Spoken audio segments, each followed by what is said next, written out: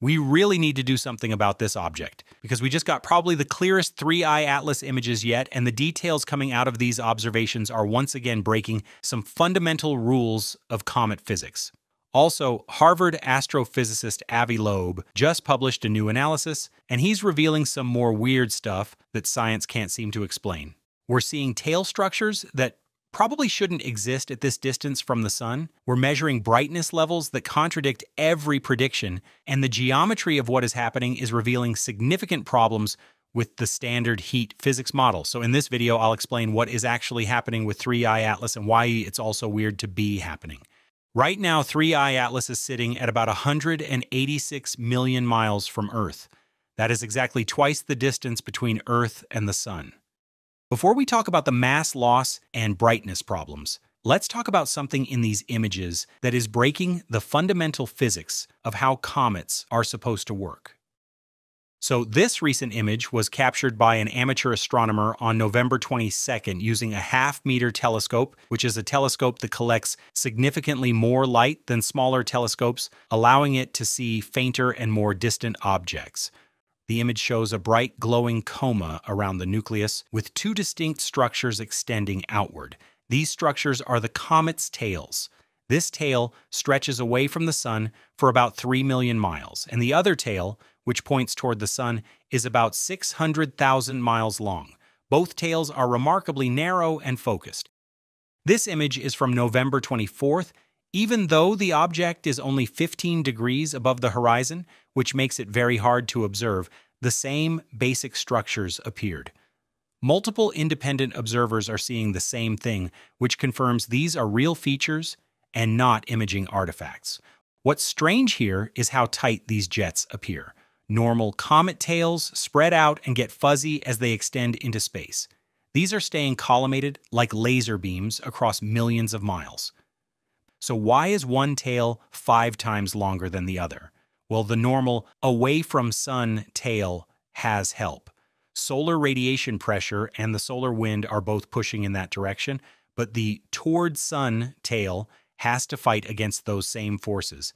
Every particle in that anti-tail is pushing directly into the solar wind, kind of like swimming against the waves.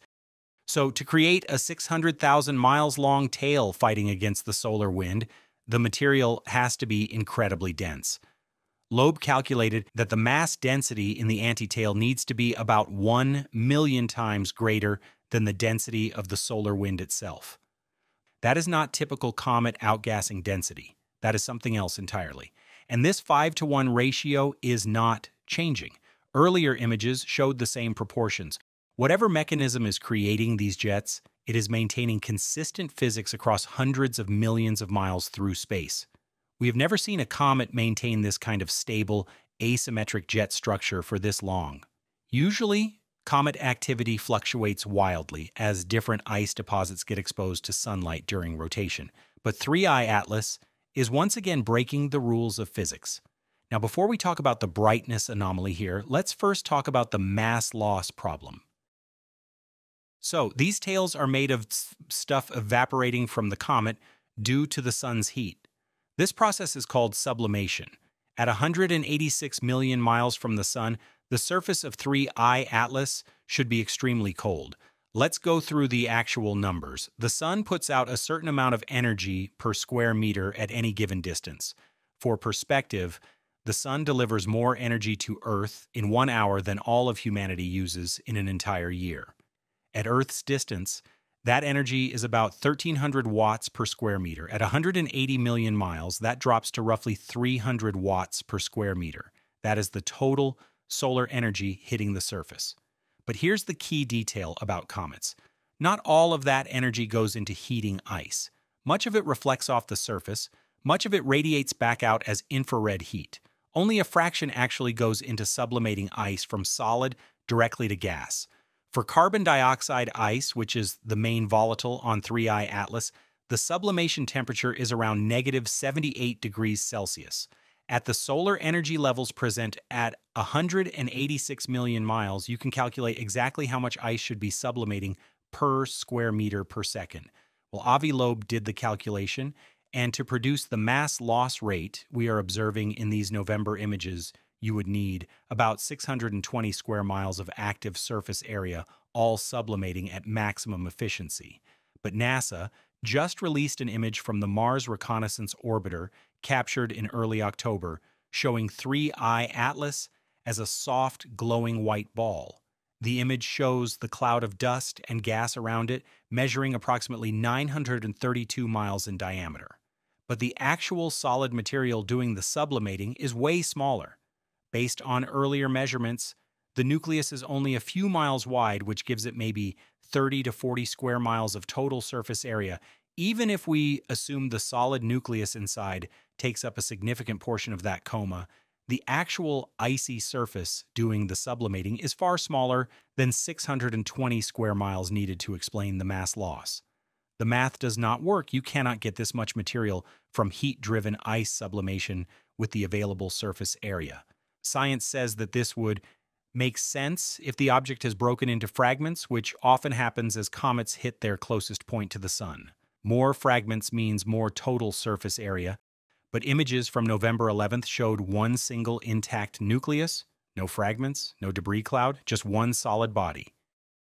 Okay, so the surface area does not add up, but the most recent images reveal yet another strange anomaly.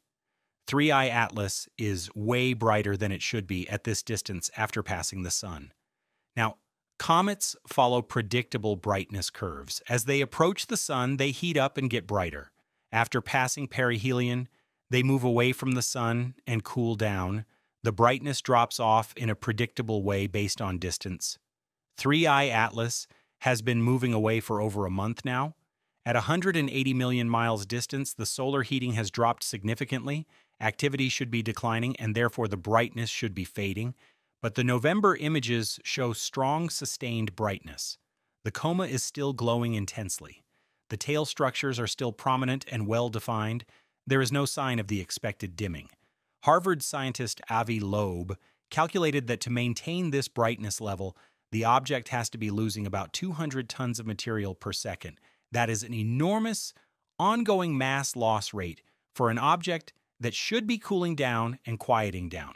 If 3I Atlas has been losing 200 tons per second since perihelion, that adds up to billions of tons of total mass lost.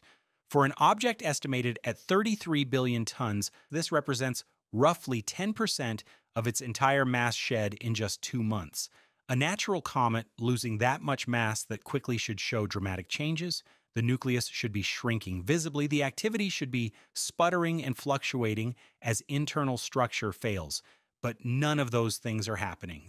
Let me know your thoughts and theories in the comments, and please drop me a like and hype if you appreciate my effort.